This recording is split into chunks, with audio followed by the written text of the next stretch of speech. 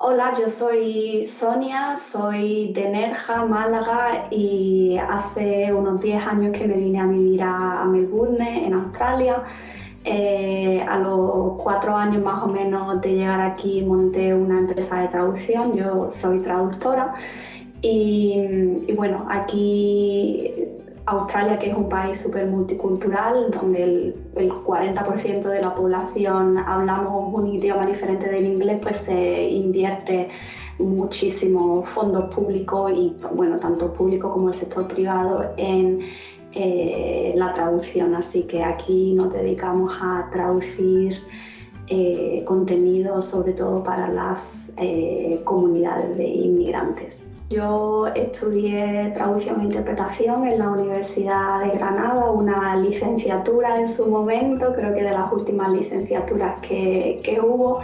Eh, cuando terminé la carrera, mm, bueno, como último paso conseguí una, beca de la UGR em, para irme de auxiliar de conversación a Inglaterra y bueno, allí estuve un curso más o menos y mm, terminé estudiando un máster de traducción y nuevas tecnologías con la Universidad Internacional Menéndez Pelayo de Sevilla. Y cuando estaba terminando el máster, pues me fui a Australia y ya como última parte del máster hice aquí unas prácticas en empresa Estuve trabajando como gestora de proyectos en una empresa de traducción, estuve como unos tres años hasta que decidí, bueno, lanzarme a la aventura de emprender. Y fue cuando ya empecé mi negocio. Mi etapa universitaria pues la recuerdo con mucho cariño, fueron cuatro años muy buenos, la verdad es que disfruté mucho de, de los estudios, de los, de los, bueno, de los compañeros, de los profesores, en general tuve muy buena experiencia.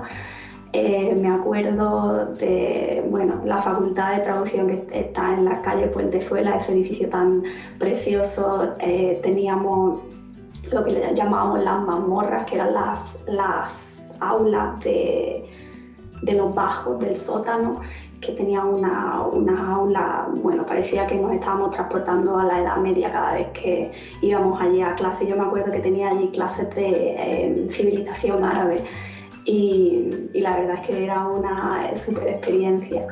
Bueno, yo creo que el, el, consejo número uno que le daría a los estudiantes ahora mismo es eh, mantener el contacto todo lo posible, tanto con compañeros como con profesores, porque el día de mañana eh, bueno, con suerte muchos van a estar trabajando en la profesión y nunca sabes cuándo vas a necesitar consejo de, un compañero o cuándo vas a necesitar los contactos para un trabajo, para un proyecto.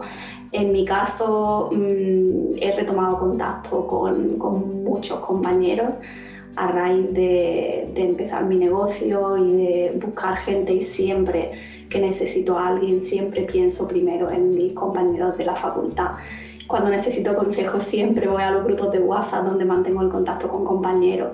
La verdad es que mm, no confías en nadie más que en gente que sabes que tiene la formación que has tenido tú, ¿no? Sobre todo la formación tan buena que hemos tenido, la suerte que tenemos en la Universidad de Granada con la Facultad de Traducción.